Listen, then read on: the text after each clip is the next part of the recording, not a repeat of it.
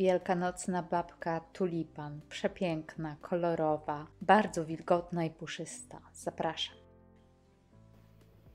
200 g masła, jedna szklanka cukru, dwie łyżki sobie odkładamy na później, jedna łyżka cukru waniliowego i to ucieramy na jasną i puszystą masę około 10-15 minut, a następnie dodajemy pojedynczo 6 żółtek.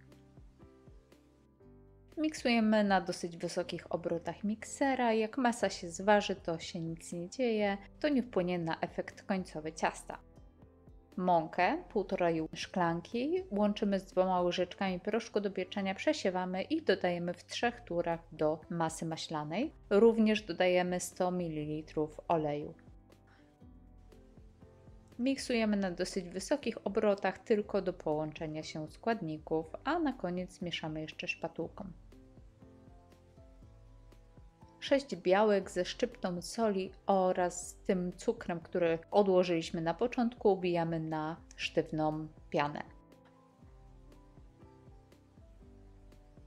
Łączymy obie masy dosyć delikatnie, żeby nie zbić ubitej piany.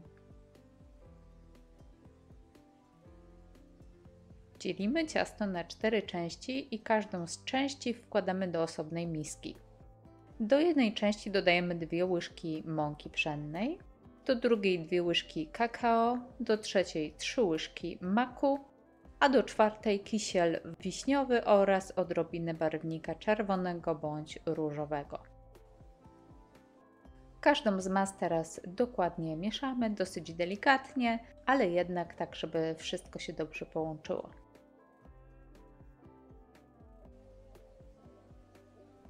Forma na babkę o średnicy 23 cm, która jest natłuszczona masłem oraz oprószona mąką. Przekładamy do niej masy po kolei. Najpierw białą, następnie różową. Na różową masę wykładamy masę z kakao.